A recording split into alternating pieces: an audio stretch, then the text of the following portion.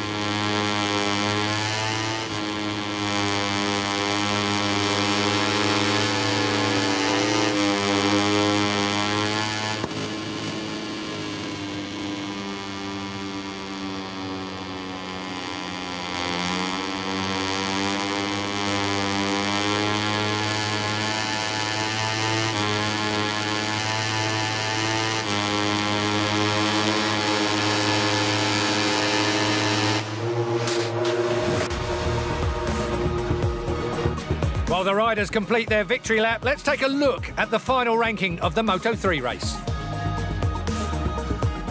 This second place finish is an excellent result for both him and the team, giving them hope for the following races.